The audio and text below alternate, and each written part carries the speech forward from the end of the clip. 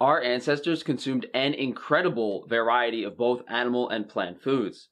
As you can imagine, certain animals are specific to certain parts of the world, just as plant foods are specific to certain regions of the world, as well as the time of year. This brings up the question is our understanding of what the paleo diet should be correct? Unfortunately, the paleo diet focuses more on what foods we should eliminate as opposed to nutrient density and the quality of the food in the diet. Upon further observation of this variance in plant and animal foods, it becomes clear that the one consistent in these indigenous, native, hunter gatherer diets, whatever you may call it, is the presence of high quality animal foods. If there is such a clear difference in the types of plant foods and the variety of plant foods and when we look at these plant foods, we see they don't exactly have a complete nutritional profile. It definitely questions our current conventional, what we've been told our whole lives, beliefs about nutrition. Our analysis showed that whenever and wherever it was ecologically possible, hunter gatherers consumed high amounts, 45 to 65% of energy, from animal food. Most, 73%, of the worldwide hunter gatherer societies derived greater than 50% of their subsistence from animal foods, whereas only 14% of these societies derived greater than 50% of their subsistence from gathered plant foods. This high reliance on animal based foods, coupled with the relatively low carbohydrate content of wild plant foods, produces universally characteristic macronutrient composition ratios in which protein is elevated, from 20% to 35% of energy at the expense of carbohydrates, 22 to 40% of energy. And some people are inclined to say that these people didn't live past 30 or 35, but field studies of 20th century hunter gatherers showed them to be generally free of the signs and symptoms of cardiovascular disease. And we can safely say that their main food source was meat. The quality of the food these people were consuming is the main thing we need to understand here. When you raise an animal properly, it increases the nutrient content of everything. The fat soluble vitamins A, D, E, K2, water soluble vitamins B and C, omega 3 fatty acids, all the minerals, all the elements are substantially increased in wild animal foods. Not only that, the wild plant foods were much less inflammatory and much higher in various minerals and elements than the foods we're consuming now these plant foods might not have been a great source of vitamins or calories, but they were certainly better than what we're currently consuming. To get a better understanding of what animal foods these people consumed, we're going to take a look at the First Nation people that settled in the Arctic regions. There are 23 recorded genus of fish that they consumed, from salmon to cod, trout, flatfish, rockfish, sculpins, and for each of these 23 genus, you have a variety of species. Over 10 types of cod, 7 types of trout, 7 types of salmon, 10 types of flatfish, 5 types of herring, 8 types of rockfish, 6 types of sculpins, and that isn't touching even half of it. These people likely consumed anywhere from 150 to 200 different types of fish, let alone other animal foods in the diet.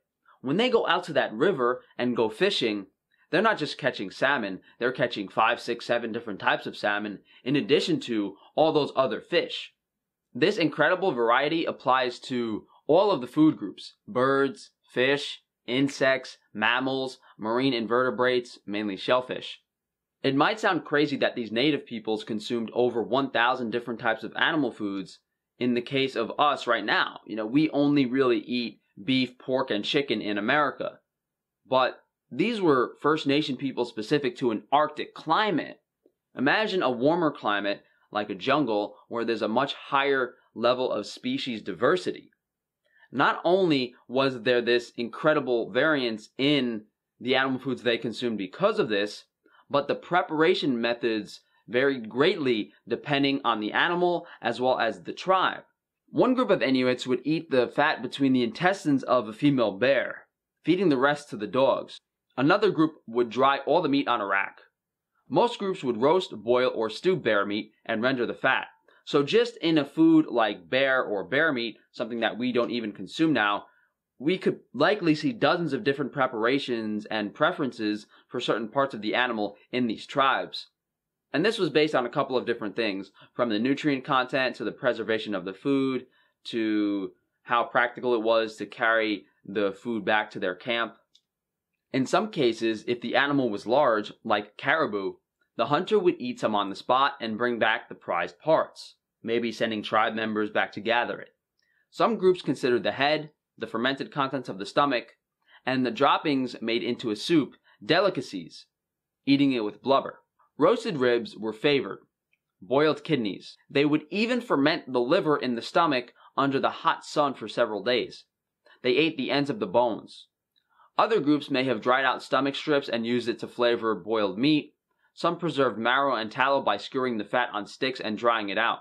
You could probably write lectures just based on the preparation that all of these indigenous groups had for one animal, whether it's a bear or a caribou, let alone all of the other hundreds of animals they consumed. It's safe to say that each tribe had at least thousands of food preparations that they were used to doing depending on the animal. This is what humans are meant to do. This is our job essentially. Our job in nature was to survive. And having this knowledge of all these animal products, all of these preparation methods is something that we've essentially lost in our culture. Whether it was raw, sun dried, boiled, mashed with grease, baked, frozen, rotten, smoked, roasted over a fire, mixed with the stomach contents, it seems like there was no wrong way to consume high quality animal foods. Something like duck was even eaten raw when cooking was not possible. It was boiled, roasted, dried, just like the other meats. Whatever you can think of, someone ate it that way. Eggs were interestingly gathered discreetly. They didn't want the animals to become suspicious, so they weren't really consumed in incredibly large amounts. Fish, of course, are included in this unimaginable amount of food preparations, but this was more specific to the part of the fish, the organ, as opposed to the animal in general. Fish eggs were a prized food in every single indigenous group, but the preparation was pretty different. Uh, sometimes they were dried, sometimes they were boiled, sometimes they were eaten with the fat, made into a stew.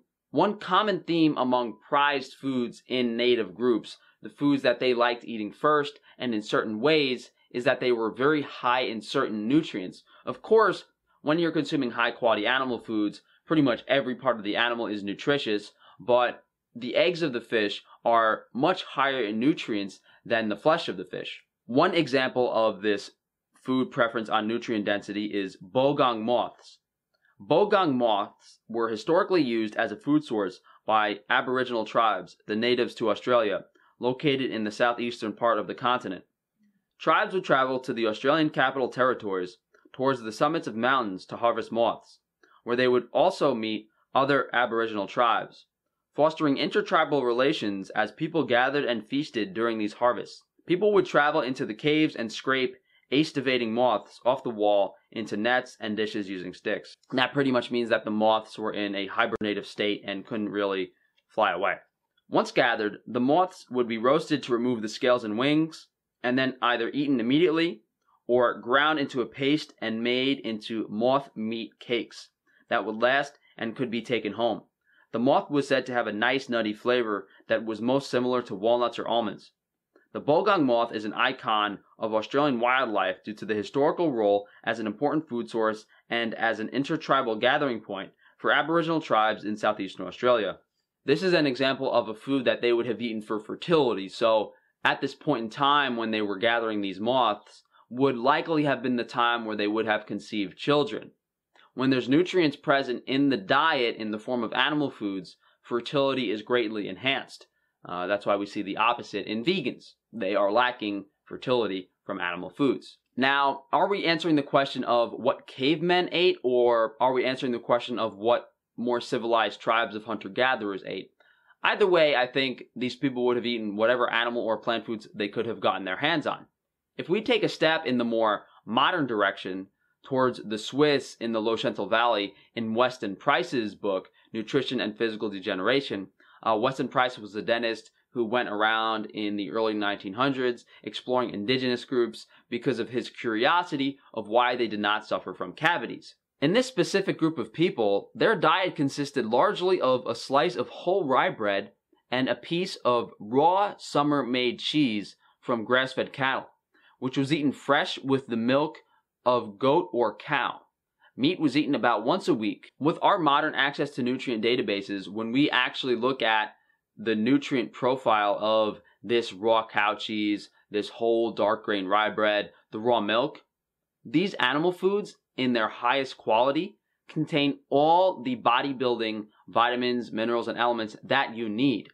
It sounds crazy that these native peoples were consuming a thousand different animal foods, but you can be healthy only eating cheese and rye bread. This is a testament to the nutrient density of these animal foods. It's safe to say that animal foods were the base nutrient content of our diet, and we consumed so many different types of them. But this brings up the question of plant foods. And in those indigenous aborigines groups of Australia, the plant food variety was even higher than the animal food variety. So imagine these tribes having this cultural wisdom of thousands of different plant foods ingrained in them. They can literally walk into a forest and see and smell so much more than we can now. They know what plants are safe to eat, what plants are for medicinal purposes, what plants are for hydration, enjoyment. Just this knowledge is something that was inherent to human beings. Uh, same with hunting animals. Uh, it's really unfortunate to think that uh, we're so far from our indigenous roots and it's only several hundred years away in some cases. What role did the plant foods actually place, though, in these diets? it's pretty safe to say that it could only have been from a survival perspective or a medicinal perspective, as well as enjoyment. If you're not consuming plant foods for energy, enjoyment, or medicinal uses, you shouldn't really be consuming them. The interesting thing about grains and the Neolithic Revolution is that grains essentially replaced plant food consumption. As you can imagine, plant foods aren't available in all climates and regions, especially at certain times of the year um, evident in those Arctic climates we spoke about earlier, there wasn't really mention of too many different types of plant foods. So if we can deduce that grains replaced fruit and vegetable consumption in the Neolithic Revolution, and these people were still in excellent health, granted they had quality animal foods present in their diet, this is another logical and anthropological argument against the necessity of consuming plant foods in the diet that we've been led to believe. So, thank you guys for watching. If you guys would like to support the channel, please like, subscribe, and share the video. Uh, down below in the comments, guys, my Amazon shop, a bunch of products like vitamin D3. My Patreon is a great way to support me and ask personalized questions. Uh, you can follow me on Twitter. You can follow me on Instagram. If you guys want to check out my website, uh, you can reach out to me for one-on-one consultations as well as take a look at my hygiene products like fluoride-free tooth powder and aluminum-free deodorant. Last but not least, guys, if you are interested in a consultation, I do focus on improving all of these physical aspects of our lives from sun exposure to diet, exercise, you name it that you could do, we work on it.